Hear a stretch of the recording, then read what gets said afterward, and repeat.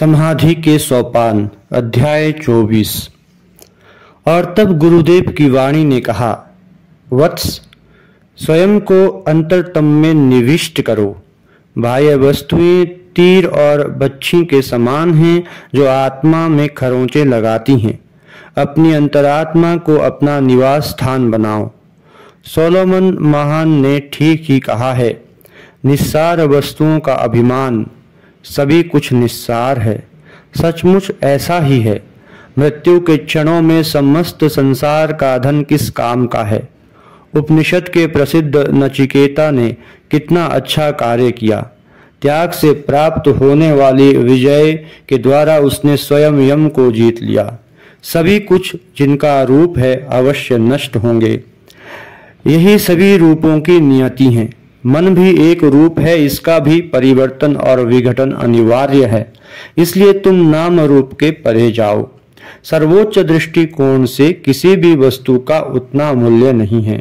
सर्वोच्च अर्थ में एक बार यदि तुमने अपने हृदय को प्रभु को समर्पित कर दिया तो फिर तुम्हें कोई भी वस्तु बाँध नहीं सकती। इससे तुम्हारे मन में स्वाधीनता तथा विस्तार का भाव आना चाहिए। प्रेम सबसे बड़ी वस्तु है। शक्ति है। प्रेम की शक्ति के द्वारा प्रेमास्पद को ढांकने वाले सभी पदों को, सभी पर्दों को चीर दिया जा सकता है। मन को शुद्ध करो, मन को शुद्ध करो, यही धर्म का सर्वस्व है। धर्म का यही एकमात्र अर्थ है। सर्वोच्च दिशा में विचारों के सतत प्रभाव का अभ्यास करो। लक्ष्य की स्थिरता का अधिकाधिक विकास करो। तब कोई भी वस्तु तुम्हारा सामना नहीं कर सकेंगी। जिस प्रकार चील उड़ती हैं, उसी सरलता से तुम अपने लक्ष्य की ओर बढ़ सकोगे। ओहो, यदि कोई सतत परमात्मा का चिंतन कर सके तो वह स्वयं अपने आप में मुक्ति होगी। अपनी जड़ता से स्वयं को जगाओ, अपने संपूर्ण स्वभाव का पुनर्निर्माण करो, सर्वव्यापी सौंदर्य के प्रति अपनी आँखें खोलो, प्रकृति से संपर्क करो बहुत सी बातें जो तुम्हें अभी ज्ञात नहीं है, वह प्रकृति तुम्हें सिखा देंगी। वह तुम्हें व्यक्तित्व की महान शांति प्रदान करेंगी। तुम्हारे चारों ओर के दृश्य में अदृश्य परमात्मा को देखो। साक्षी बनो। कर्ता कर्म फल के भार से दबा होता है। यदि तुम्हें कर्म करना ही पड़े तो कर्म में भी साक्षी बनो। आत्मनिरीक्षण तथा आत्म साक्षात्कार के अतिरिक्त और किसी बात की चिंता ना करो। तुम में जो सर्वश्रेष्ठ है उसे पुष्ट करो। दूसरों के मतामत की ओर ध्यान न दो।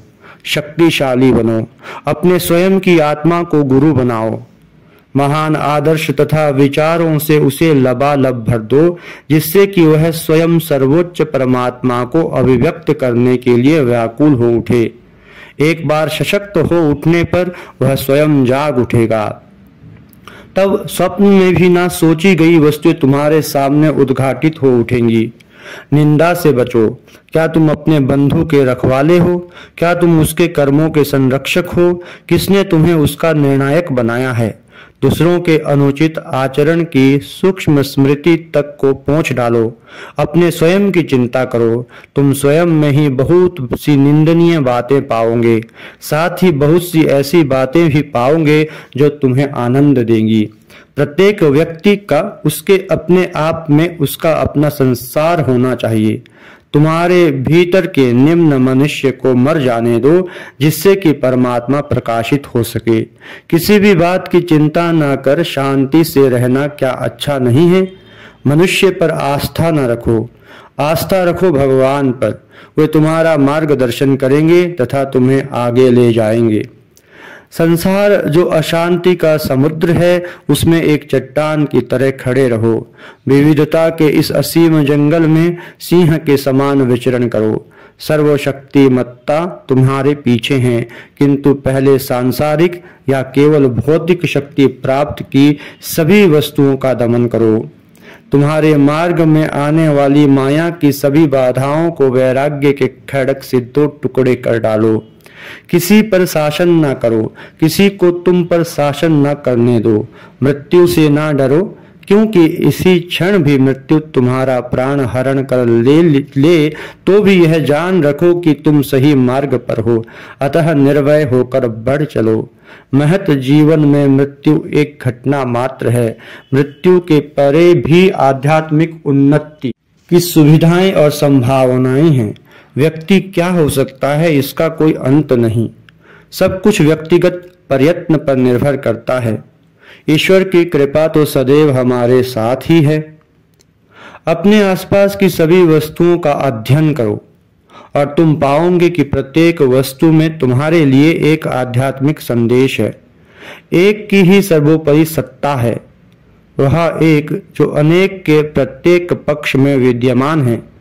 विविधता अपने विक्षेपकारी भेदों द्वारा भले ही तुम्हें छलती रहे, तब भी तुम सर्वव्यापी एकत्व की पूजा करो। आभास छलता है जैसे कि कहावत है, तुम सर्वव्यापी एकत्व की पूजा करो। किंतु मनुष्य का यह कर्तव्य है कि वह छल को पकड़े तथा सभी आभासों के पीछे के सत्य का दर्शन करे। प्रत्येक व्यक्ति अपने कर्मों का अभिरक्षक है। प्रत्येक व्यक्ति अपने बंधन को तोड़ने वाला है। प्रत्येक व्यक्ति को स्वयं अपने लिए सत्य की खोज करनी होगी। दूसरा कोई रास्ता नहीं है। प्रत्येक व्यक्ति अपनी ही भूमि पर खड़ा है। प्रत्येक को अपना युद्ध स्वयं लड़ना होगा। क्योंकि अनुभूति सदैव पूर्णतः व्यक्तिगत अनुभव ही है। अंततो गत्वा प्रत्येक व्यक्ति स्वयं का उद्धार करता तथा स्वामी है। क्योंकि परमात्मा जो सर्वदा वर्तमान है, वह पूर्ण एकत्व के रूप में व्यक्तित्व के प्रत्येक अंश में उद्भासित हो उठेगा। यही उपदेश है। इसकी ही अनुभूति करनी है और इसकी अनुभूति होने पर वह महान लक्ष्य, यानी ईश्वर दर्शन भी प्राप्त हो जाएगा।